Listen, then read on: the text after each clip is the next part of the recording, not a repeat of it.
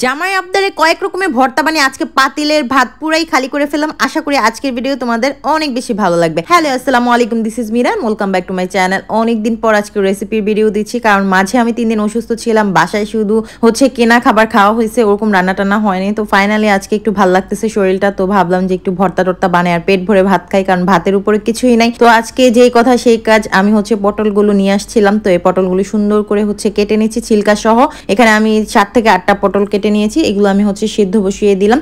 আর এখানে হচ্ছে সিদ্ধ হওয়ার পর আমি এখন তেলের ভিতরে সব কিছু টেলে নেব। ফার্স্টে হচ্ছে শুকনো মরিচ টেলে নিলাম। আজকে আমি কাঁচা মরিচ, শুকনো মরিচ মিলিয়ে ভর্তা বানাবো।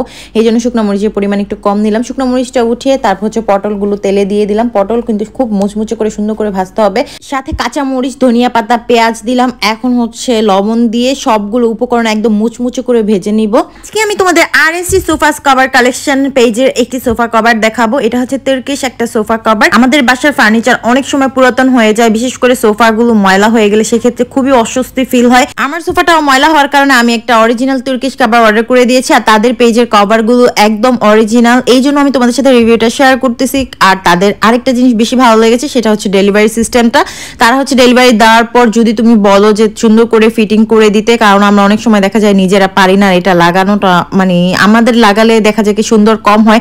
তারা যদি সুন্দর করে একবার লাগিয়ে দিয়ে যায়, এটা অনেক বেশি সুন্দর হয়।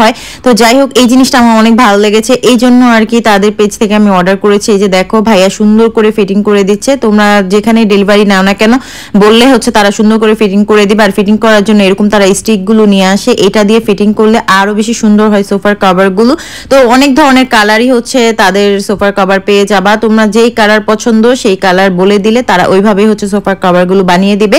আর অবশ্যই হচ্ছে পিকচার সেন্ড করতে হবে তাদেরকে। তাহলে তোমাদের সোফার সাইজ অনুযায়ী তারা কভারগুলো বানিয়ে দিবে। ফাইনালি সোফার কভার লাগানো ডান দেখো কত সুন্দর হয়েছে। তো তোমরা তোমাদের পছন্দের কালার অনুযায়ী অর্ডার করতে চাইলে এখনই চলে যাও R S sofas cover collection এই পেজে উপরে পেজটা আমি ট্যাগ করে দিব আর স্ক্রিনে নাম্বার দেওয়া থাকবে।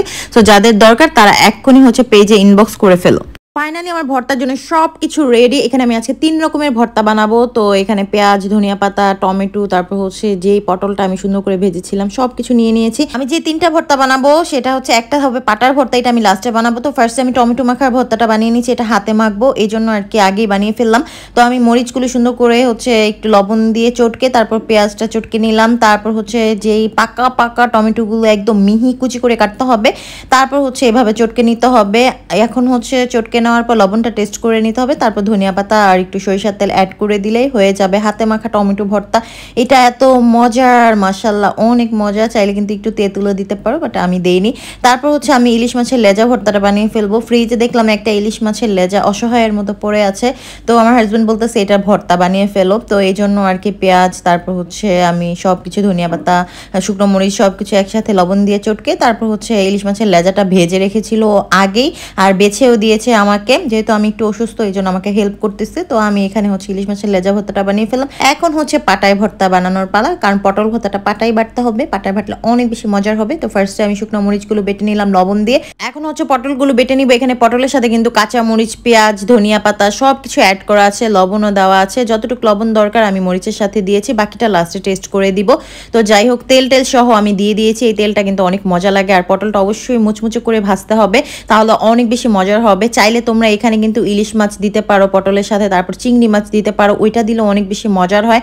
আমার বাসায় চিংড়ি ছিল না ইলিশের লেজা একটা ছিল, ওইটা আমি আলাদা ভর্তা বানিয়েছি। ব্যাপার না, চিংড়ি, ইলিশ ছাড়াও পটল ভর্তা এমনি নিজেও সুপার হিট এভাবে যদি মুচমুচে করে সবকিছু একসাথে ভেজে তারপর পাটায় বাটা, ওইটাও খেতে অনেক বেশি মজা লাগে। ফাইনালি আমার তিন রকমের ভর্তা রেডি এখানে আছে পটল ভর্তা, টমেটো ভর্তা, হাতে মাখা, আর হচ্ছে ইলিশ মাছের লেজা ভর্তা, আর সাথে আমি নাগামরিচ নিয়ে নিয়েছি।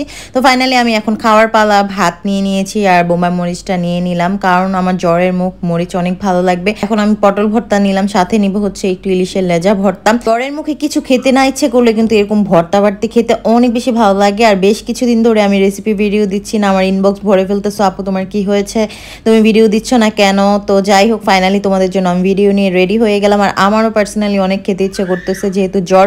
আমাকে তো বানিয়ে খাওয়ানোর মতো কেউ নাই। তো আমার হাজব্যান্ড বলতেছে যে, তুমি আজকে ভর্তা টর্তা করো, আমিও তোমাকে সাথে হেল্প করি। তো আমরা দুজন মিলে হচ্ছে ভর্তা করে নিলাম। তো ফার্স্টে আমি হচ্ছে এই একটু পটলের ভর্তা দিয়ে খাচ্ছিলাম। মাসাল্লাহ এত মজা হয়েছে। আর সাথে লেবু চিপড়ে নাগামরিচ দিয়ে একটু লবণ দিয়ে টকটক করে নিলে অনেক বেশি মজার লাগে। তোমরা একবার হলো এই ভর্তাটা বাসায় ট্রাই করবা। জানি অনেকেই খেয়েছো, নাটোরের একটা বিখ্যাত ভর্তা হচ্ছে এই পটলের ভর্তা। ইলিশ মাছের লেজা ভর্তাটা অনেক ভালো ছিল।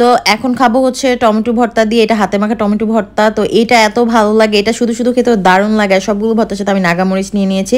তো কে কে ঝাল খোরাছো আমার মতো তারা কমেন্ট করে জানতে পারো। আর ভর্তা দেখে কার কার লোভ লাগতেছে তারা কমেন্ট করে দিবা। আর এই ভর্তাগুলো কোন ফ্রেন্ডের হাতে খেতে চাও, তাকে ভিডিওটা টুক করে মেনশন করে দিবা। তো আজকের মতো এখানেই বিদায় নিচ্ছি। আশা করি তোমাদের ভিডিও ভালো লেগেছে। দেখা হবে নেক্সট ব্লগে থ্যাংকস ফর ওয়াচিং বাই